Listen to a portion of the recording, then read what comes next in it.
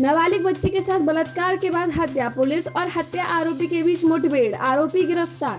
UP के रामपुर में एक हवस के दरिंदे ने इंसानियत की हदों को शर्मसार कर डेढ़ माह पहले नाबालिग बच्ची को उसके घर से किडनैप कर बलात्कार करने के बाद हत्या की वारदात को अंजाम दिया। इसके बाद फरार हो गया। सिविल लाइन में? जी। सात मई को एक घटना रिपोर्ट हुई थी जिसमें एक नाबालिग बच्ची किडनैपिंग के बारे में सूचना थाने पर दी गई थी।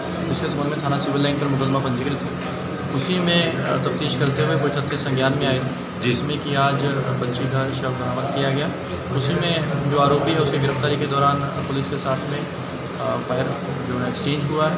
उसी में आरोपी के पैरों में गोलियाँ लगी हैं। फ़िलहाल आरोपी को एडमिट करवाया गया है हॉस्पिटल में और आगे कार्रवाई की सर आप पुलिस की तरह आरोपी ने भी क्या पुलिस पर गोलियाँ चलाई? अब पुलिस और बदमाशों के बीच में फायरिंग हुई थी। उसी फायरिंग में बदमाश घायल हुए हैं। कितने इसमें कितने बदमाश? कितने बदमाश थे? एक बदमाश था जिसके द्वारा ये घटना को अंजाम दी गई थी जिसके अरेस्टिंग के दौरान ये मुठभेड़ हुई है। फ़िलहाल बदमाश को उपचार के लिए और पुलिस की तरफ़ से कितने जवान थे जब मुठभेड़ हुई थी? वहाँ पे पुलिस की संख्या थी। थाने की और स्वाट टीम वहाँ पर मौजूद थी। कोई चोटिल तो नहीं है? आपस में कुछ चोटें हैं वहाँ पे उनको उपचार उपचार करवाया जा रहा है।